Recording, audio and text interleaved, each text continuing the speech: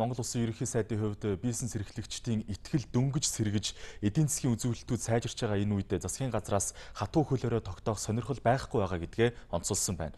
Тиймээс иргэн бүр аж ахуй нэгж бүр хариуцлагатай хувийн сахилга бат халдвар хамгааллын дэглэмээ баримталж хичээж ажиллахыг уриалсан байна. Засгийн газрын тэргүүн халдвар хамгааллын дүрм журмуудаа сайтар мөрдөж хөлөөрөө тогтоохгүй байхын төлөө ажиллах хэрэгтэй гэж үзлээ.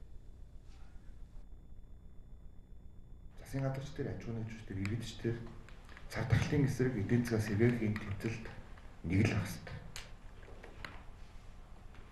Тийм учраас энэ үл ойлголцлын ханаа нураах хэрэгтэй. Цар тахлын нөхцөлд дэлхийд даяар энэ хандлагыг өөрчилж байгаа байхгүй юу? Бүхэлдээ залхаж, бүхэлдээ бууж өгч, бүхэлдээ бухимдаж, буруутан хайж. За тэгээд дээрэс нь ус төгчлөлт. Маш төвөгтэй цаг бай бухимдгаас өөр яг тэрийг бид нэр ойлгож энэ үед бас төрийн албан хаагчид бүгд анхаарах хэрэгтэй. Бид нэр илүү тийм үйлчлэгч удирдахж явах хэрэгтэй. Чин сэтгэлээсээ ойлгож, дэмжиж хаана байгаа, юу болж байгаа ийм асуудал байна гэдгийг бид нэр чин сэтгэлээсээ ярьж хамт байхыг хичээх хэрэгтэй.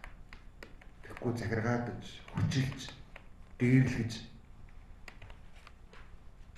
мэдээллийн зөрүүтэй байдал дээр даапалж ийм хандлагаас болж байгаа хөөх.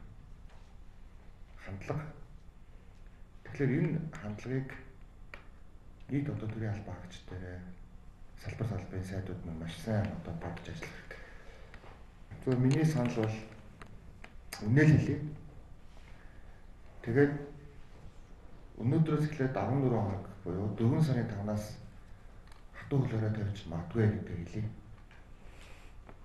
нэг үрлэл иргэд маань бэлтгэлтэй бай, аж ахуйн нэгжид маань бэлтгэлтэй бай. Гэхдээ хатуу хөлөөрөө тавихгүй тул засгийн газар эцсийн мөчийг хүртэл зогссон. Одоо ч зогсож байгаа гэдэг үнэ хэлье. Гэхдээ энэ дээр цагийн хязгаарлалт болон бусад зүйл дээр болбор шар дээр 14 хоноо гэдэг бас үнэ хэллээ. Өөрөлд улаанд орохоос өмнө бид анхааруулж нөхцөлөд сайжрахгүй бол бид 14 хоногийн дараа буюу 4 сарын 5-наас хатуу хөлөөрөнд 14 хоногийн хугацаанд орох нэ. Wybierz odeczny.